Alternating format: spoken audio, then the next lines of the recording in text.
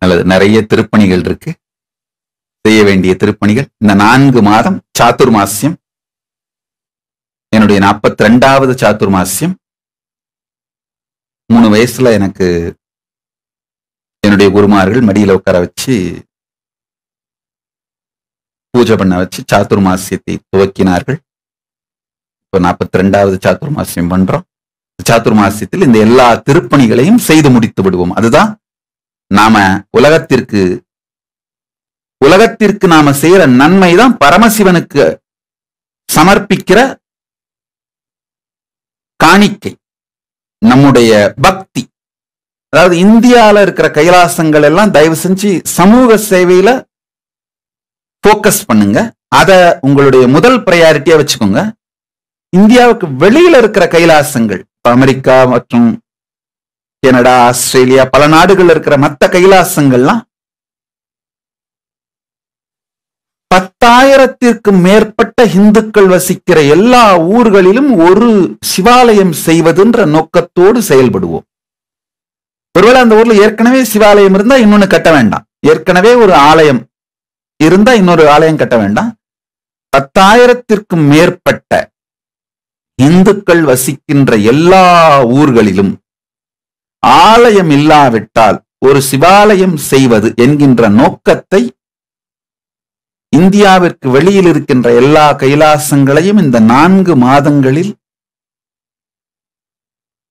உங்களுடைய பிரையாரிட்டியாக எடுத்துக்கொண்டு வேலை செய்யுமாறு கேட்டுக்கொள்கிறேன். இந்தியாவுக்குள்ள இருக்கிற கைலாசங்கள் சமூக சேவையிலே இந்த இந்த பல்வேறு விதமான விருதுகள் அவார்ட்ஸ் கொடுக்குறோம் இல்லையா? இதுலெல்லாம் போக்கஸ் பண்ணி சமூக சேவைகளிலே போக்கஸ் பண்ணுமாறு கேட்டுக்கொள்கிறேன். ஏன்னா இந்தியாவினுடைய உடனடி தேவை ஆலயங்கள் இல்ல. அதுக்காக நான் ஆலயங்களை கற்றவர்களை குறை சொல்லல இல்ல வேண்டான்னு சொல்லல அது அவங்களுடைய விருப்பம். நம்ம கைலாசத்தை பொறுத்த வரைக்கும் இந்தியாவில் இருக்கிறவர்கள் இந்தியாவினுடைய கைலாசத்தின் அன்பர்கள் பக்தர்கள் சீடர்கள் எல்லாரும் தயவு செஞ்சு சமூக சேவையை ஃபர்ஸ்ட் ப்ரையாரிட்டியா எடுத்துக்கோங்கன்னு உங்களை வேண்டிக் கொள்கின்றேன். இந்தியாவுக்கு வெளியில இருக்கிற கைலாசம் எல்லாம் பத்தாயிரம் இந்துக்களுக்கு மேல வாழற எல்லா ஊர்களிலும் ஒரு சிவாலயம் இருக்க வேண்டும். அந்த நோக்கத்தை இந்த நான்கு மாதத்தில் முதல் ஃபர்ஸ்ட் ப்ரையாரிட்டியா செய்து கொள்ள வேண்டும்னு கேட்டுக்கொள்கிறேன்.